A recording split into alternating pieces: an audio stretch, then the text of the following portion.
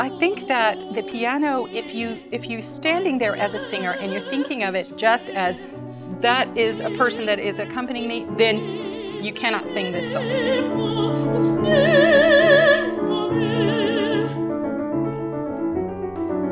So, what she does is what you do, and what she does is what you do. So, you're listening to each other, okay?